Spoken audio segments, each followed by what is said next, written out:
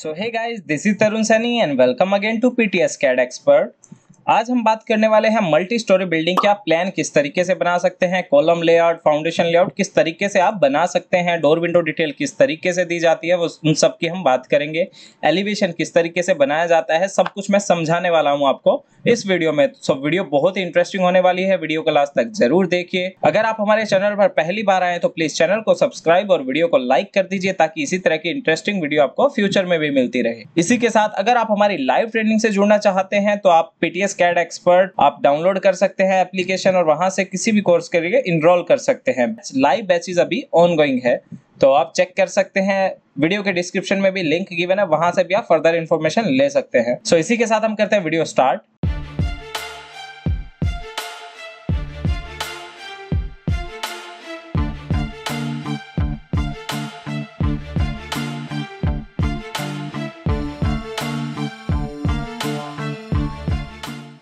पर हम सबसे पहले क्या देखते हैं? जो कॉलम लेआउट होता है हमारा, किस तरीके का होता है फुटिंग लेआउट किस तरीके का होता है?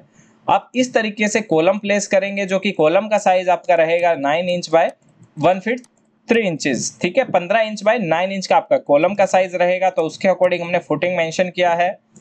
फुटिंग हमने एक ही तरफ़ लिया सेंटर में कोई कॉलम नहीं आ रहा है, क्योंकि स्पैन जो है वो 15 से 16 फीट का है तो वहाँ पे हमने कॉलम का साइज़ हैवी रखा है और कॉलम का फेस उसी तरफ़ किया जिस साइड स्पैन ज़्यादा है। तो वो लोड बियर कर लेगा आपका। ठीक है? चार फीट बाय चार फीट का आपका फुटिंग स्पेस रहेगा। उसके बाद आपका कॉलम इस तरीके से स्टैंड कर जाएगा। यहाँ पर कॉलम का हमने प्रॉपर मेंशन किया हुआ है कि किस तरीके से कॉलम आएँगे। इसके बाद हम यहाँ पे टाई बीम की बात करें तो प्रॉपर टाई बीम आपको प्रोवाइड करना पड़ेगा। मल्टी स्टोरी बिल्डिंग के लिए अगर आप प्रोवाइड कर रहे हैं तो हमने टाई बीम यहाँ पे आरसीसी पीसीसी प्रोवाइड करके इस तरीके से टाई बीम मेंशन कर दिया है। प्रॉपर जहाँ जहाँ पे वॉल आ रही है, वहाँ पे हमने टाई बीम मेंशन किया इस तरीके से। ठीक है? वाटर टैंक अगर हमारा आ रहा है डाउन में तो वो भी हमने शो किया है। Tie beam one two three आपको नंबरिंग करना पड़ता है। सेम टाई बीम आ रहा है तो आप सेम ही नंबर रख सकते हैं। ग्रिड का आपको हमेशा यूज़ करना है अदरवाइज़ आप अदर फ्लोर पे जाके इंफॉर्मेशन में एरर आ जाएगा। अलाइनमेंट नहीं हो पाता है बिना ग्रिड के, और कॉलम का भी नेमिंग नहीं पता चल पाता है बिना ग्रिड के। ठीक है? ग्राउंड फ्लोर की हम बात करें तो कुछ प्लानिंग इस तरीके की रहेगी। आपका स्टेयर केस आ गया, जो कि स्टेयर केस आपका सात फीट तीन इंच का रहेगा। इसके अलावा आपका जो विर्थ रहेगा स्टेयर केस का, वो आपका नौ, दो फीट नौ इंच का रहेगा। राइजर आपका सवा सात इंच का रहेगा और ट्रेड आपका नाइन इंच का रखा है, क्योंकि स्पेस यहाँ पे कम है, हमें हाइट ज़्यादा अचीव करनी है तो उसके अकॉर्डिंग ये पैटर्न रखा गया है। ठीक है? यहाँ पर हमारा किचन आ गया। किचन का विंडो हमने मेंशन किया हुआ है। किचन का विंडो का जो सिल होता है वो तीन, साढ़े तीन फीट तक रहता है। किचन का जो सिल रहेगा विंडो का, वो हमेशा अलग रहता है बाकी विंडो से। लिंटल ऑलवेज मैच करेंगे बट आपका जो सिल रहेगा वो अलग रहेगा।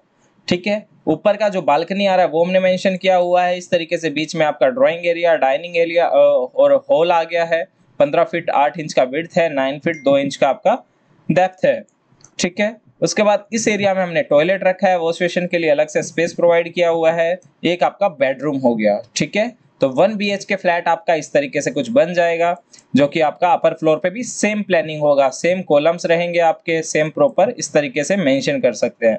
अपर फ्लोर से और जो आपके लोअर फ्लोर रहेंगे, उनके waste water pipe soil water pipe इस तरीके से कुछ उतारे जाते हैं, ताकि हर एक लेवल पे सेम अलाइनमेंट में वो पाइप्स रहें और डायरेक्ट मैन होल में उनको कनेक्ट हम करवा सके। सेम ऐसे ही जब आप बीम की बात करते हैं डोर बीम की बात करते हैं तो आप डोर बीम प्रोवाइड करेंगे। जो आपकी ये प्लानिंग थी जहाँ जहाँ पर डोर्स आ रहे हैं विंडोज़ आ रहे हैं, हर जगह आपको डोर बीम प्रोवाइड करना पड़ता है इस तरीके से। जो कि आप ऊपर ब्रिक लगाएँगे जब डोर के पैनल के ऊपर ब्रिक जब आप लगाएँगे फ्रेम के ऊपर तो इस बीम के ऊपर वो रेस्ट करेगी जो आपकी ब्रिक रहेगी। तो इस तरीके से आपको डोर बीम प्रोवाइड करना पड़ता है। आप पेरीफेरल बीम भी प्रोवाइड कर सकते हैं लिंटर लेवल पे कंपल्सरी रिक्वायरमेंट नहीं होती है, बट आप प्रोवाइड कर सकते हैं इस तरीके से आप प्रॉपर।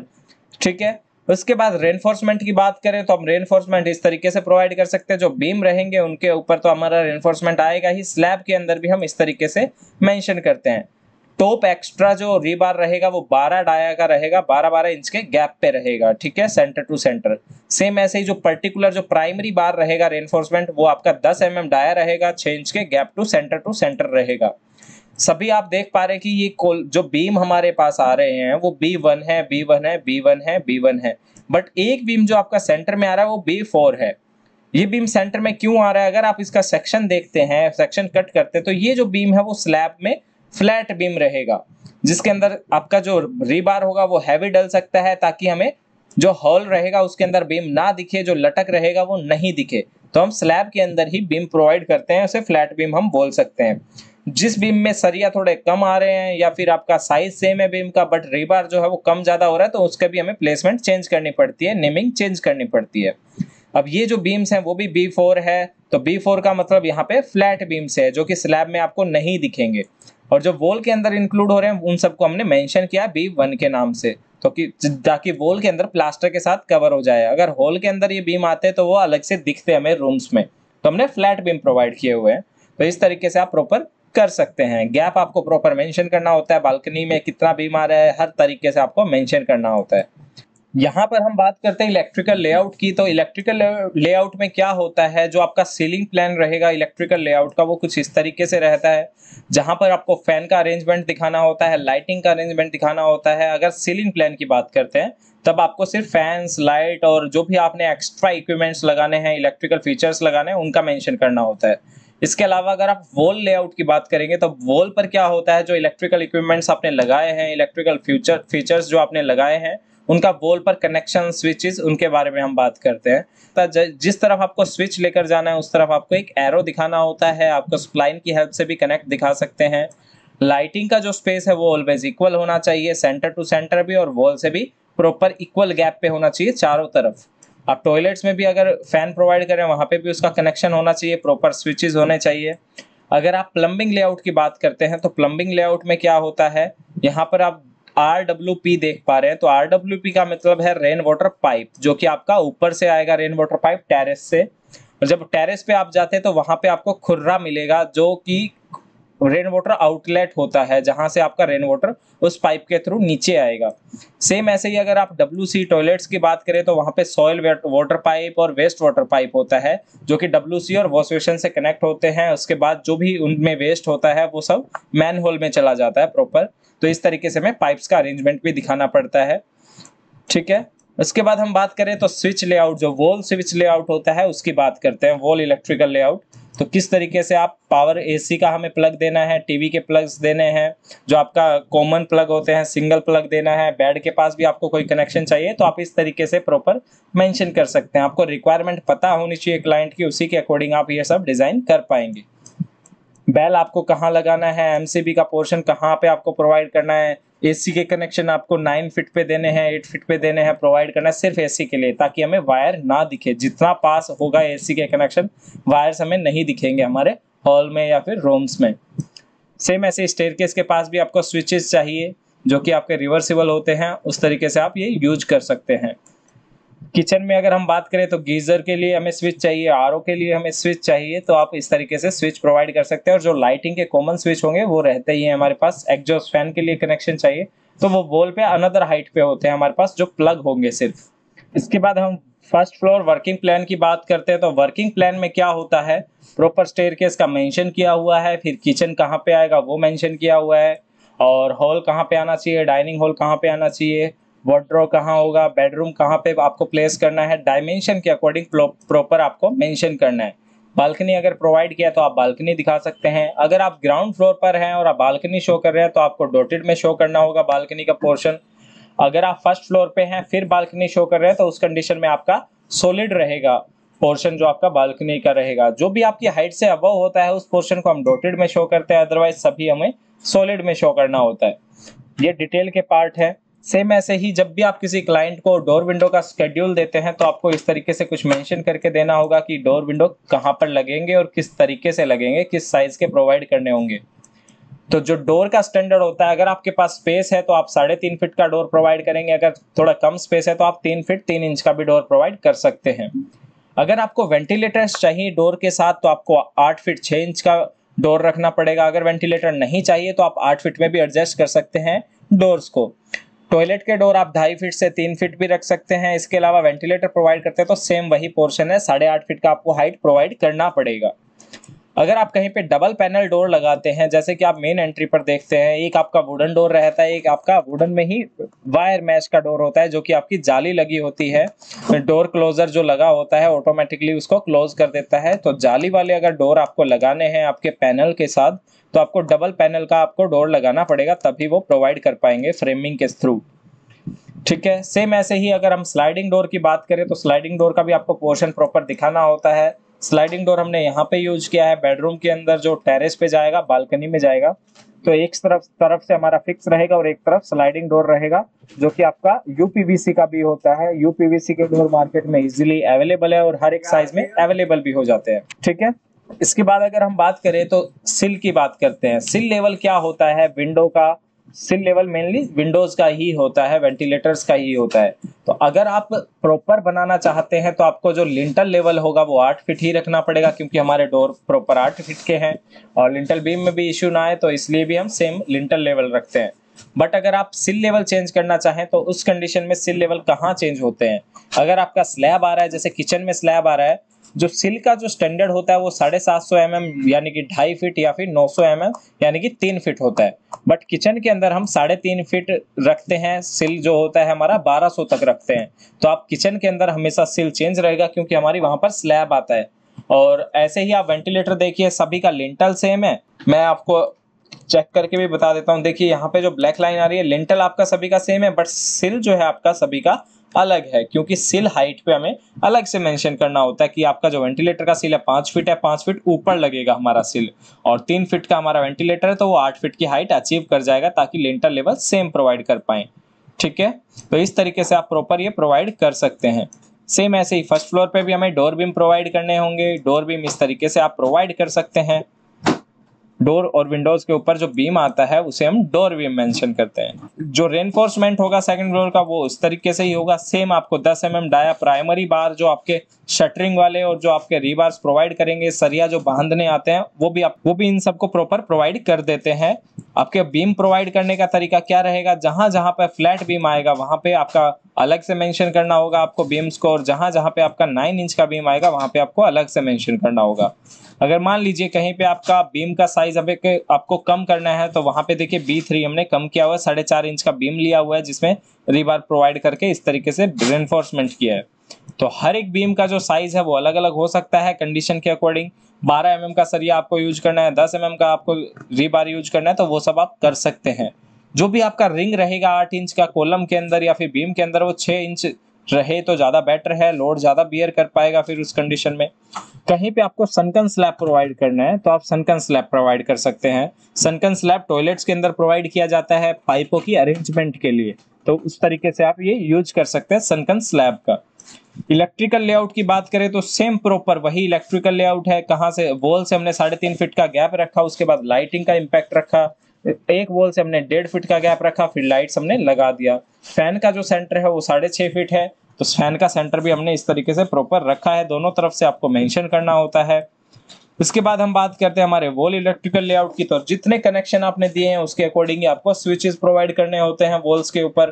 टॉयलेट्स में भी आपको स्विच प्रोवाइड करना होता है। तो हर एक कंडीशन के अकॉर्डिंग आप यूज़ कर सकते हैं। अगर आपको चार्जर के लिए या फिर अलग से किसी पर्पज के लिए बेड के पास में भी आपको चाहिए तो आप बता सकते हैं। क्लाइंट ने जो आपको बताया, उसके अकॉर्डिंग आपको प्लान बनाकर देना पड़ेगा। उसके बाद हम बात करते हैं प्लम्बिंग लेआउट तो प्लम्बिंग लेआउट में क्या होता है? एक तो आपके जो waste water pipe soil water pipe rain water pipe होते हैं, उनका हमें मेंशन करना होता है। अगर कहीं पे बालकनी आ रही है तो हमें स्लोप भी प्रोवाइड करना होता है कि जो बालकनी का वाटर रहेगा बारिश के टाइम में रेनी सीज़न के टाइम पे तो आर के थ्रू इस तरफ़ स्लोप रहेगा पूरे बालकनी का तो आर डब्ल्यू के थ्रू वो नीचे आ जाएगा पानी और उसके थ्रू आपका मैन होल के थ्रू सीवियर में चला जाएगा। सेम ऐसे ही दोनों तरफ़ आपने स्लोप प्रोवाइड किया है तो आप इस तरीके से भी कनेक्शन दे सकते हैं, जो कि आपका डब्ल्यू डब्ल्यू डब्ल्यू पी जो वेस्ट वाटर पाइप है, उसके अंदर चला जाएगा। ठीक है? अगर कहीं पे आपको एसी लेआउट प्रोवाइड करना पड़े कि एसी कहाँ कहाँ पर लगाने हैं आपको और किस तरीके से लगाने हैं, वो भी आप प्रोवाइड कर सकते हैं। जो आउटडोर आउटडोर यूनिट होगा, वो आपका वॉल के बाहर आएगा इंडोर यूनिट आपका बेडरूम के अंदर जो आ रहा है, उसका सिर्फ़ एक पाइप का कनेक्शन ड्रिल के थ्रू होल करके आप लेकर जा सकते हैं। एसी के लिए अलग से आपको बिल्कुल स्विच प्रोवाइड करना पड़ेगा एसी की हाइट पे ताकि वायरिंग ना दिखे, जो मैंने पहले भी बताया है। सेम ऐसे आप प्रोसेस यूज़ कर सकते हैं। एसी आपका हॉल में भी आ रहा है तो वहाँ भी आप इसी तरीके का कंटेंट यूज़ कर सकते हैं। सेम ऐसे ही सभी प्लान्स हैं। आपका जो भी एक फ्लोर होता है, उसी का सेम टिपिकल फ्लोर होता है तो उसके अकॉर्डिंग सारी डिटेल हम प्रोवाइड करते हैं। इसके बाद हम बात करते हैं एलिवेशन की। तो एलिवेशन आपका जो स्टिल्ट फ्लोर है, आपका पूरा रहेगा। रोड लेवल से आपका स्टिल्ट फ्लोर है, आपका नाइन फीट पे है, ताकि कार आपकी पार्क हो सके उसके बाद आपका जो ग्राउंड फ्लोर से अबव लेवल है, वो आपका इस तरीके से कुछ मेंशन करना होता है, जो कि आपका लेवल रहेगा, तीन फीट प्लस रहेगा। ये जो आपका प्लस लेवल है, ये किसका है? ये बालकनी का और आपके जो कोपिंग हमने लगाया हुआ है डिज़ाइन जो आपने बनाया हुआ है, उसका है। और जो पीछे का लेवल है वो माइनस थ्री फीट रहेगा। जो पीछे की तरफ़ जो आपको दिख रहा है बालकनी में, आपको जो वॉल दिख रहा है आपके रूम का, वो जो आपका वॉल है, वो आपका रहेगा माइनस थ्री सेम ऐसे ही आपने मेंशन किया हुआ है कि एचपीएल बोर्ड कहाँ पर आ रहा है। सिंपली मार्केट में अवेलेबल होते हैं। एचपीएल बोर्ड आप दिखा सकते हैं। एचपीएल शीट आप दिखा सकते हैं। उसके बाद सेम आपका अनदर बालकनी आ जाएगा अनदर लेवल आ जाएगा। लेवल हमने दिखाया हुआ plus two feet six inches जो कि आपका सिर्फ़ इससे छः फिट छः इंच अंदर रहेगा। ये जो आपका पोर्शन है छः इंच ऊपर रहेगा। तो प्लस माइनस का वर्क आपको समझना होगा कि किस तरीके से आप कर सकते हैं। अगर हम इसका सेक्शन कट करते हैं तो कुछ इस तरीके से दिखेगा। एक पोर्शन आपका छः इंच अंदर दिखेगा, एक पोर्शन आपका छः इंच बाहर दिखेगा, इस तरीके से। इस तरीके से आपका कुछ पोर्शन दिखेगा। तो इस तरीके से आप पोर्शन बना सकते हैं किसी भी ऑब्जेक्ट का। सेम ऐसे ही आप अपर फ्लोर पे अगर जाते हैं तो टेरेस पर जब आप जाएँगे टॉप फ्लोर पे या फिर टेरेस पे जाते हैं तो वहाँ पे देखिए फोर फिट फोर फिट का आपका एलिवेशन है जो कि आपकी वॉल से है। वॉल से जो एलिवेशन रहेगा फोर फिट रहेगा, जो कि आपकी अलग अलग शीट या वॉल के डिज़ाइन से एचपीएल बोर्ड से एम एस पाइप से आप बना सकते हैं। सेम ऐसे ही टू एलिवेशन आपका हो गया। मेन गेट डिटेल आपको देना है तो कैसा डिटेल आपको रखना है, वो आप इस तरीके से मेंशन कर सकते हैं कि आपको कैसा डिटेल प्रोवाइड करना है। ये आपका रैंप का स्लोप हो गया, डेढ़ फीट का आपका रैंप रहेगा एफजीएल लेवल से आपका जो गेट है वो आपका डेढ़ फीट ऊपर रहेगा। और डोर का जो साइज़ है वो छः फीट का रहेगा हाइट में और विर्थ जो है आपकी 10 फीट 11 इंच का रहेगा ताकि प्रॉपर एक कार अंदर जा सके। उसके बाद जो आप यहाँ पे येलो कलर में देख रहे हैं, वो आपके एचपीएल बोर्ड रहेंगे जो कि डिज़ाइन मार्केट में अवेलेबल है डिज़ाइन आप लगा सकते हैं। ब्लस्टर पोस्ट के ऊपर जो आपका कॉलम आ रहा है, वहाँ पे आपने लाइट लैंप लगाए हुए हैं तो लाइट पॉइंट आपको यहाँ पे इलेक्ट्रिकल फिटिंग के टाइम पे भी छोड़ना पड़ेगा, तभी आप यहाँ पे लाइट्स प्रोवाइड कर सकते हैं। अब लास्ट हम देखते हैं कि टेरेस और मोमटी प्लान कैसे बनता है, जो कि अभी तक किसी ने इन्फॉर्मेशन नहीं दिया है यहाँ पर। कोई भी यूट्यूब पर वीडियो नहीं है कि टेरेस प्लान और मोमटी प्लान किस तरीके से डिफाइन किए जाते हैं तो हम यहाँ पे देखते हैं मोमटी प्लान रेनफोर्समेंट किस तरीके से प्रोवाइड होगा। तो जहाँ पर स्टेयर केस आता है, वो हमारा मोमटी हो एरिया होता है जो कि आपके हर फ्लोर से अबव होता है। तो वेस्ट वाटर पाइप अगर आप प्रोवाइड करना चाहते हैं, यहाँ करेंगे, ठीक है? टेरेस पर अगर आप बात करें तो आपको आर शो करने होंगे। अगर आप आगे भी कंस्ट्रक्शन करना चाहते हैं अपर फ्लोर पे तो आपको इसकी ज़रूरत पड़ती है, आपको पाइप बाहर निकालने होते हैं वेंट पाइप्स ठीक है? एट एम डाया बार के साथ आप रेनफोर्समेंट कर सकते हैं, क्योंकि यहाँ पर लोड का कोई काम नहीं रहेगा। उसके बाद हम बात करें यहाँ पे रेनफोर्समेंट स्लैब की तो आपका रेनफोर्समेंट स्लैब इस तरीके से रहेगा। ठीक है? प्रॉपर रेनफोर्समेंट यहाँ पे मेंशन किया हुआ है। बारह एम एम डाया का सरिया यूज़ किया है, जो आपका रीबार होता है। बारह इंच के गैप पे आपको प्रोवाइड करना है तो आप इजिली प्रोवाइड कर सकते हैं। इसके बाद इलेक्ट्रिकल लेआउट की बात करें तो अगर ये पोर्शन आप पूरा ओपन रखते हैं तो भी आपको इलेक्ट्रिकल लेआउट मेंशन करना होता है कि यहाँ पे ये लाइट्स लगा सकते हैं। बाद में कभी इसको किचन बनाना पड़े तो आप यहाँ पे पार्टीशन वॉल लगा के किचन प्रोवाइड कर सकते हैं। ठीक है? उसके बाद हम वॉल की इलेक्ट्रिकल लेआउट की बात करें तो यहाँ पे आपको स्विचेस प्रोवाइड करने पड़ेंगे, उसी के अकॉर्डिंग जैसे आपने फ़ैन लाइट्स यूज़ किए हैं, उसी के अकॉर्डिंग बालकनी अगर आपका है, ये टॉप पर टेरेस पे आपको जो दिख रहा है प्रोजेक्शन दिख रहा है तो हमने डॉटेड में शो किया हुआ है। ठीक है? टेरेस पर जो होगा वोटर होगा हमारा तो पूरा प्लानिंग किस तरीके से होता है टेरेस का, वो हमने यहाँ पे वोटर लेआउट के प्लम्बिंग लेआउट के अकॉर्डिंग बताया हुआ है कि टेरेस पे जो आरडब्ल्यूपी होगा, उसके थ्रू आपका जो रेन वाटर रहेगा, वो नीचे की तरफ़ चला जाएगा और वेस्ट वाटर पाइप रहे वेस्ट वाटर रहेगा, वो भी आपका आर डब्ल्यू डब्ल्यू पी की तरफ़ से नीचे चले जाएगा, जो वेस्ट वाटर पाइप होता है, उसी के अंदर हम कटआउट प्रोवाइड कर देंगे पाइप के अंदर और इस कंडीशन में ये आपका वाटर फ्लो एम तक चला जाएगा मैन होल तक चला जाएगा। ये था हमारा टेरेस के लिए। अब मुमटी के लिए हम देखें तो हमने पहले ही प्रोवाइड किया था यहाँ पे वे, वेस्ट वाटर पाइप या फिर R W P rain water pipe तो स्लोप जो है वो आपका इस तरीके हमें प्रोवाइड करना पड़ेगा फ्लोरिंग के टाइम पे टाइल्स लगाने के टाइम पे। सो so गाइज़ ये था आज का वीडियो कैसा लगा कमेंट सेक्शन में ज़रूर बताइए। इसी के साथ हम जल्द मिलते हैं नेक्स्ट वीडियो में। This is Tarun Sunny signing off